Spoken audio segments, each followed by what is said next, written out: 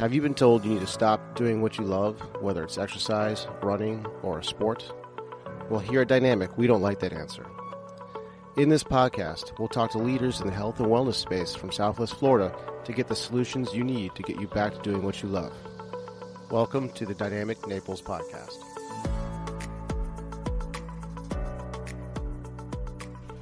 Do you have any of the following symptoms? Feeling tired or weak, shortness of breath, feeling faint, a smooth red tongue, pale skin, chest pain, nausea, vomiting, loss of appetite, heartburn, numbness in the hands or feet, memory loss, blurred vision, or depression.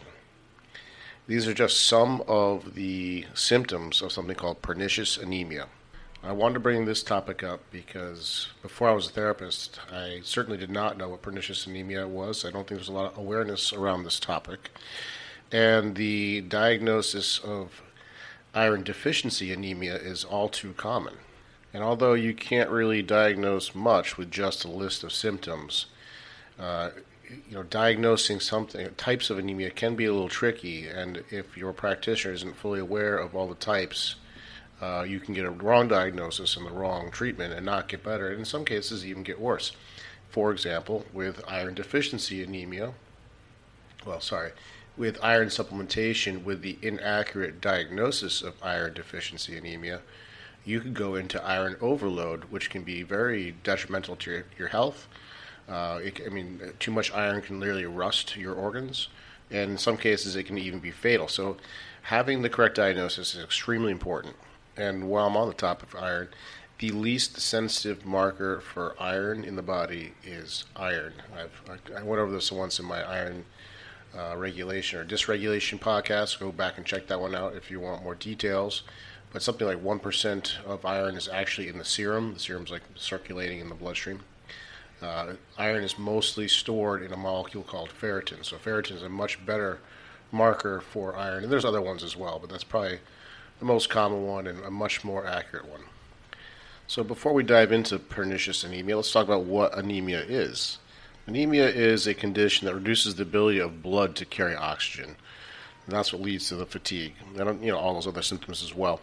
Uh, this may be due to a reduction in the hemoglobin, that's the thing that attaches the, uh, the oxygen, or a reduction of the production of red blood cells themselves. The most common causes of decreased red blood cell production is B12 deficiency, folate deficiency, and of course iron deficiency. B12 is extremely important. It's a very important nutrient. It's involved in the methylation cycle. It's involved in genetic repair. Uh, B12 and folate together uh, do these things. Uh, keeps your body's blood and nerve cells healthy, and this is why, when you're deficient, you have this vast array of uh, symptoms. So you can be deficient in B12 for a number of reasons. It could be just dietary. So uh, let me start there. So B12 has to come from animal products. Can't get in plant foods. Plants don't need B12, so they don't store it. You may have heard of uh, some vegetables containing B12. It's not actually true. So B12 is actually called cobalamin. There's something called cobamides, which is a B12 or cobalamin analog that are in some plant foods. So it looks like B12. Uh, so, but it doesn't act the same way in the body. What it does do is actually inhibit your absorption of B12. So, as I was saying, B12 has to come from animal products. It's highest in clam, uh, liver, lamb liver, beef liver, duck liver, oysters, pork liver, caviar, mackerel, herring, mussels, crabs, sardines, and salmon. A lot of seafood too. So deficiency in uh, from the dietary perspective is common but there's also a malabsorption issue that's just as common. And some of the things that can inhibit the absorption of this vital nutrient are SIBO, which is small intestinal bacterial overgrowth, because B12, uh, well, I'll get more into that in a bit, but it uh, combines with something called intrinsic factor, where it then goes into your ileum, what's the small intestine, where it's absorbed. SIBO can interfere with that because that's the small intestinal bacterial overgrowth. So the, instead of your body getting the B12, the bacteria get it. An H. pylori uh, infection can cause this. Low stomach acid, that's another thing I did a podcast on. Uh, we tend to develop less stomach acid as we get older, so we don't uh, absorb our food as well. Celiac disease, uh, excessive alcohol use, Even use of metformin, the diabetes drug, can deplete the B12 stores. I'm curious to see what happens with these new ones like Ozempic, uh, semaglutide, if that's going to have any effect on B12. Okay, I just paused the podcast because I had to know because I'm such a nerd. So I did a quick Google search. I did find at least one article that suggests an association of use of semaglutide and B12 uh, deficiency. Uh, I didn't go over the mechanism in there, but I kind of already know what it may be. So uh, I do know that these GLP-1 agonists inhibit or they slow down the uh, the transit time. So in other words, how long it takes from food to go from your stomach to anus, basically for excretion. And that's part of what gives it the uh, satiating effect. But when food sits in the small intestine longer, then you develop, well, you can develop SIBO because you're basically giving the bacteria there, who are opportunistic, chance to feed on that food. So that's probably the likely correlation. Again, this is that is purely uh, theoretical. So those are some of the risk factors for B12 deficiency. Now let's get into pernicious anemia. So pernicious anemia, what is it? So the word pernicious means deadly, because this used to be a deadly diagnosis. But don't worry, that that term came up way before we, we knew what to do. Now we have some answers. So I mentioned intrinsic factor earlier. So the inner lining of your stomach has these cells called parietal cells. They excrete uh, acid and that intrinsic factor, so that they're to help digest things. The intrinsic factor is a glycoprotein that attaches to B12. From there, that's where it moves into the small intestine. Then it gets absorbed. So intrinsic factor is necessary to help the absorption rate of B12. Well, pernicious anemia is a type of autoimmune condition that attacks those cells, the parietal cells, that make the intrinsic factor. There does seem to be a bit of a genetic component to it. Uh, you know, like all autoimmune disease, there's usually genetics load the gun, environment pulls the trigger. So you, there's something like uh, I think it was 19% of people with no those with pernicious anemia had a 19% chance of having a, a relative that also had it.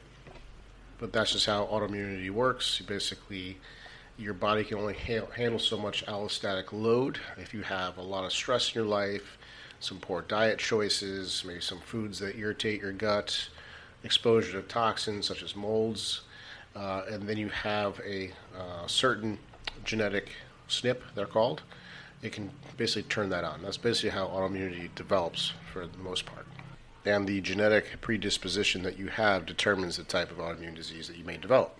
This is why autoimmune disease tends to develop later in life because of the cumulative effect of exposures you have to your environment.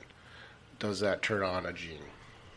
So that's pernicious anemia in a nutshell. So what do we do? How do we test for this? So usually blood work is a good screening tool. Again, screening tool can't really diagnose it just from blood work alone. Those, these are proxy markers.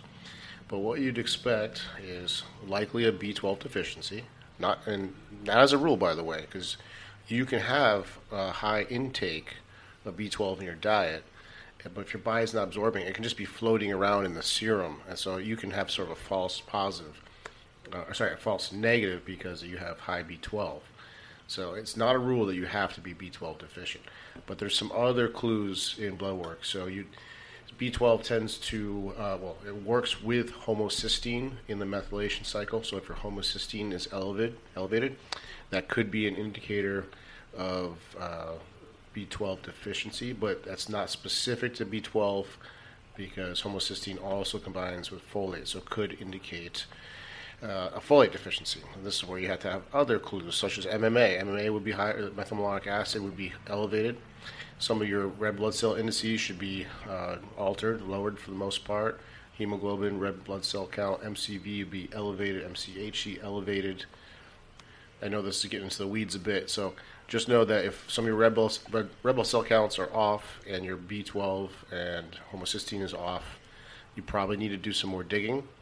Uh, there is uh, an antibody to intrinsic factor. There's a test for that. There's also something called a Schilling's test. This can also help tease it out. There's also uh, questionnaires online, uh, pernicious anemia surveys that you can fill out. There, there's a pernicious anemia society that has a website with a questionnaire. You can check that out. But again, this is important to know. It's important to know if you have anemia, what type of anemia it is, because if you do the wrong thing, it, it could be harmful to your health. If you do have pernicious anemia, uh, then you will probably have to supplement with B12 for the rest of your life. That's okay. Something no harm in that.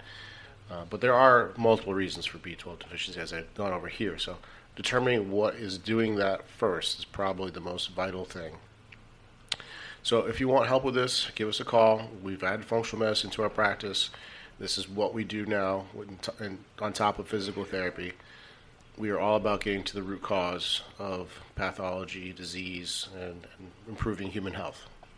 And if you haven't already yet, please subscribe to our YouTube channel. This is where I post my podcast. It comes out here first before I put it out everywhere else. Uh, hit the bell icon so that when I do post something new, you get that notification because I try to bring the best content I possibly can to you, all the cutting edge material. And if you like this content and you want more stuff like this and you have questions, please email us, hit us up, let us know what you want me to talk about. I can talk for days, and I love to talk, as you probably have noticed. So email us, contact us, and that's all I have for you this week. I'll be talking to you guys soon. Why guess when you can test? Do you get hangry or crash after a carb heavy meal? These could be indicators that there is a dysfunction in your blood glucose regulation. If left unchecked, it can lead to irreversible changes. If you catch it quick enough, you can make diet and lifestyle changes that will get your levels where they need to be. 88% of Americans are pre diabetic and don't know it. Diabetes underpins many of the pathologies we deal with in this country, such as obesity, high blood pressure, heart disease, and stroke. For some reason, it is rarely screened with your physician, and if they do test for blood glucose, it's usually with an A1C or a fasting glucose, which can sometimes give you a false negative. NutriSense is a company that supplies continuous glucose monitors. We've paired with NutriSense to get you real time data to see how your physiology responds to glucose. The NutriSense app lets you track your daily activity to see how food, sleep, exercise, and stress impact your glucose. You can log or import this data into the NutriSense app to see the effect on your blood glucose levels as soon as it happens. Use the code DrChris25 for $25 off your order today. Do you have unexplained pain, or do you wonder just how healthy you are? When was the last time you had your blood tested? Blood chemistry analysis is a great tool to stay ahead of any health conditions, and now you can have control of your health with Let's Get Checked. Let's Get Checked is an incredible company that sends blood tests to your home you can choose from over 30 different tests, whether that's thyroid function, testosterone, micronutrient, cholesterol, or C reactive protein, which is a marker for inflammation. It is sent to you with free shipping and you get results in 2 to 5 days. No physician referral needed. Use the code DPT25 for 25% off. You can find links in the show notes. Did you know that you can get started with physical therapy without a physician's referral? Physical therapists don't just solve pain, we get down to the root cause and keep it from coming back. We also discuss all things health, such as nutrition and lifestyle changes. If you feel that you could use some help, let's get on a free consult call. Go to www.dynamicnaples.com and sign up for a free call. Also, if you like this podcast, please give us a rating wherever you listen to podcasts. It helps us spread the message. Thanks for listening, and we'll see you next week.